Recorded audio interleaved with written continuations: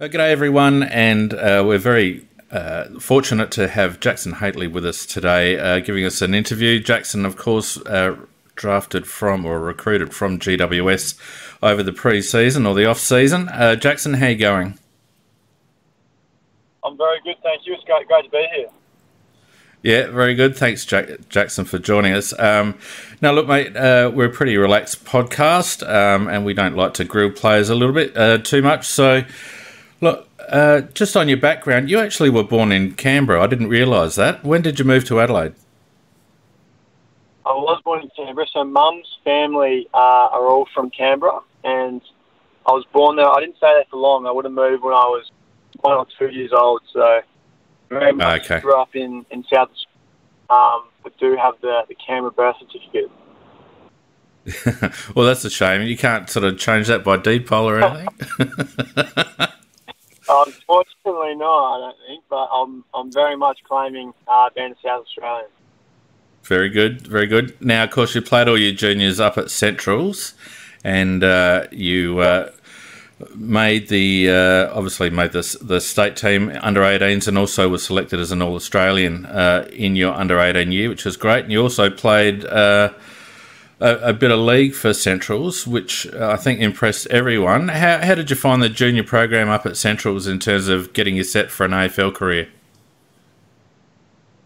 Yeah, I, I really enjoyed it. I'm super thankful for Centrals. Um, I think that that year of league experience, um, you know, to play against men for for a year definitely um, made me feel more comfortable going into an AFL system. Um, you know, knowing that um, I, I'd competed with those bigger bodies before, and, and obviously the AFL was at another level entirely, but definitely, um, you know, made me feel like I could compete. Um, and yeah, I'm, I'm super thankful for Centrals and, and the development that they allowed me to have. Yeah, and speaking of that, of course, uh, the step up into AFL ranks. Uh, how did you find that moving, uh, not only moving up the ranks, but also moving into state uh, with uh, GWS, who drafted you at what number fourteen, I think, from memory. Yeah, yeah, 14. Yeah. Um, yeah, it's obviously a huge step up and something that um, I'm still still getting used to and still, you know, trying to trying to develop to the point where I'm, you know, super comfortable and can be a, an elite AFL player. Um, so that's something that is, is going to be, you know, a journey and something that I'm always looking to, to get better at. But I think I definitely developed um, my two years at the Giants and um, like Central, I'm super thankful for them as well. Um, you know, I've got some great mates there now, and um, you know, learn learn a lot um, through through playing with them for a couple of years. So um, yeah, I'm just going to look to, to build on that um, here at the Crows and continue to get better. Yeah, and of course you moved up to GWS um, right through uh, when they really started to hit the ground running and uh, were challenging for um, premierships. Um, how did you find that as a young lad breaking in with uh, some of the talent that they had there that had been in the system for three or four years? Because you've been in the system for three years, but most people don't realise that really you're only you, you've what you've put in about fifteen or sixteen games now. So um, it must have been super difficult to try and break into that GWS team. Yeah, it was, and it was it was a funny one because obviously it was it was frustrating when you come in, you just want to play AFL footy, and um, you know the, the Giants had so many of those you know great midfielders as they they showed on the weekend, um, and they had another couple that were were out.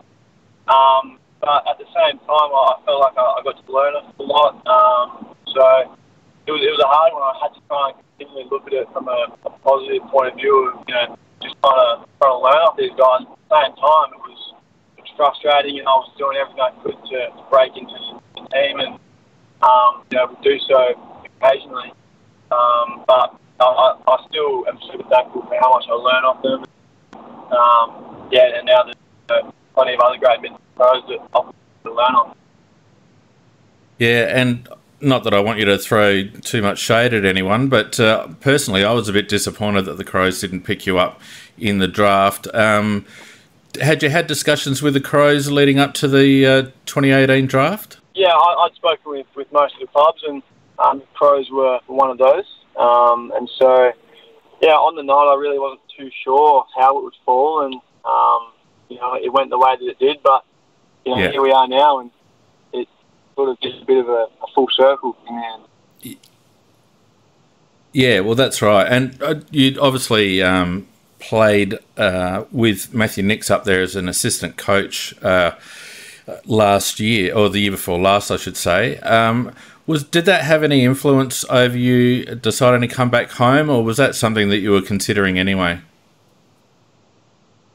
Um, I think it was there was definitely a number of factors um, that you know to the decision. It's never one thing, but you know I, I really respected and, and loved the way Nixie went about it at the Giants, and I you know was sure he was going to make a great um, senior coach. So that definitely um, didn't didn't hurt at all, and, and I was you know speaking to him in the, the lead up, and um, you know to have that relationship already there, and um, you know for me just feel like he's you know, a great person for the job, and um, you know, that, that was certainly a factor that, that helped my decision.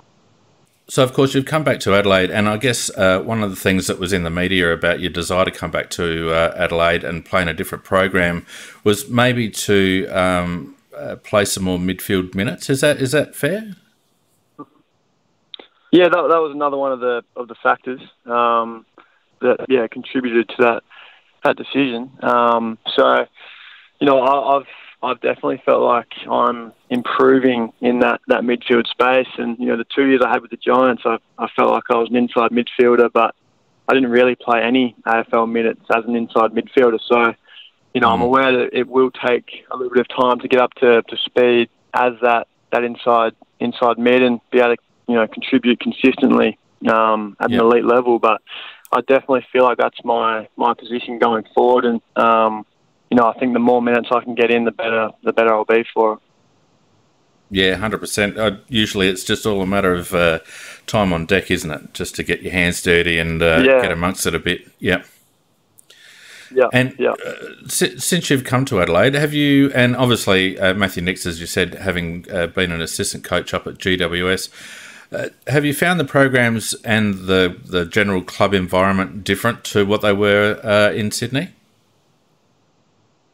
I've been super impressed ever since I got here, and the main thing that I've that I've said um, from the start is just how hungry the group is and how hard the, the group works. And it's it was led by you know the young boys straight away. As soon as they came in, I you know saw Lockie Sholl, um, you know doing you know extras, and Andy McPherson and Jordon Butts, and all these these young boys are really driving the club. And obviously guys like Sloaney and Tex are, are still you know leading that as well. Um, but that's been a thing that's it's just such a hard working group that you know you love you love coming to be a part of something like that. Um, so yeah, I'm loving the culture and um, what we're creating.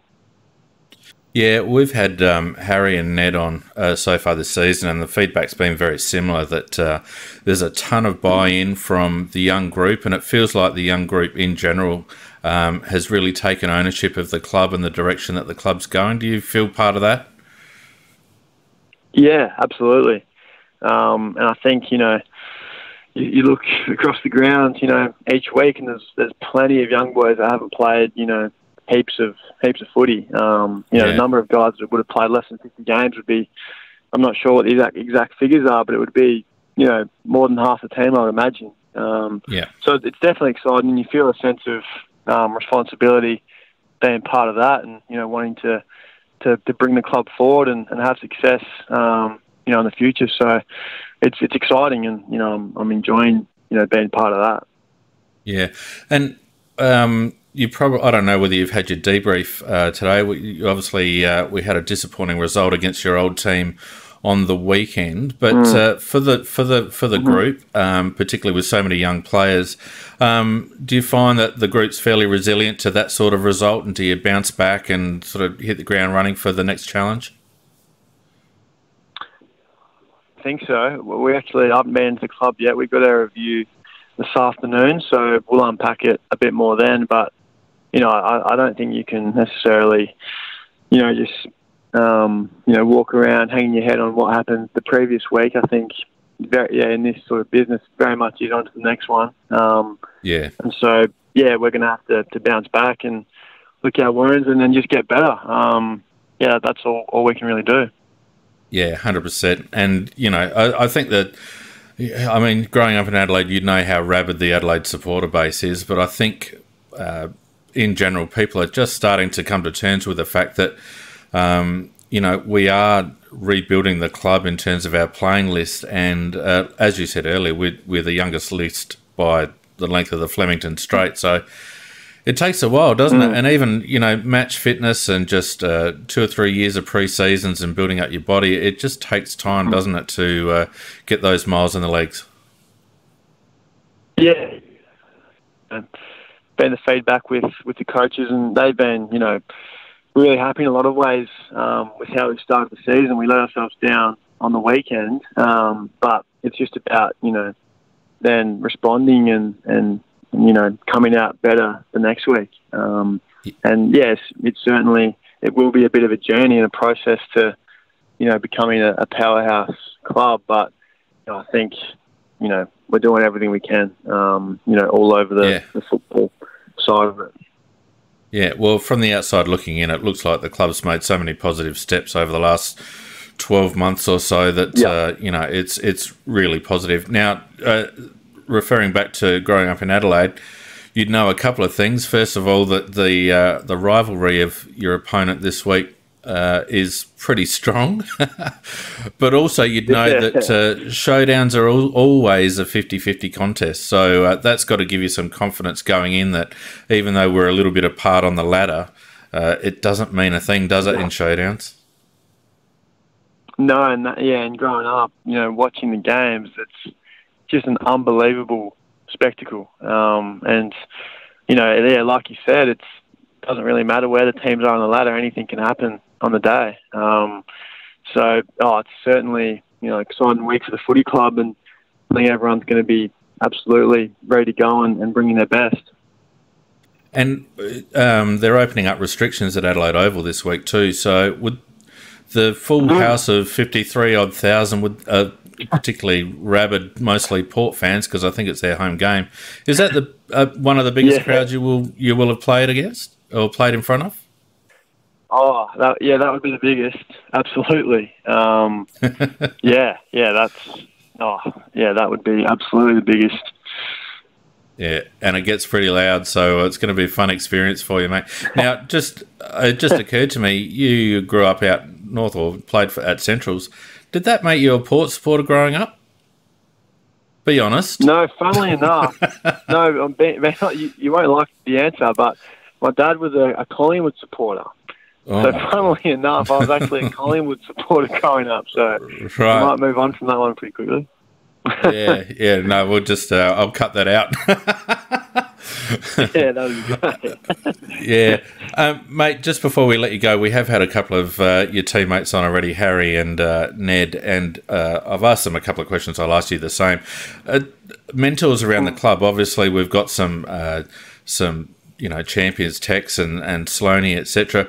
Have you found that there's been a good mm. mentoring relationship between the senior players and, and yourself? Have they um, has anyone taken you under their wing? Yeah, yeah, that, uh, I can't speak high enough of the older boys. Um, you know, those two have been great. Tommy Lynch is another one who, you know, I've, you know, had a lot to, to do with, and he's been great for me, and um, you know, supporting me, um, you know, my early stages at the club. Um, even, you know, even guys like the young boy like Tom Doedee, still, you know, so young, but he's, yeah. you know, one of the the older boys it seems, and he's been yeah. another one who's who's just been been awesome. Um, so yeah, I can't speak high enough of those older boys. Yeah, you mentioned Tommy Doedee, and uh, that's a classic case of what you were talking about before because people consider Tom a bit of a, a stalwart in the team. He's played 35 games, you know, yeah, and he's considered, considered a senior player. So uh, that shows you where the squad's at and, you know, how much upside there is yeah. in the squad.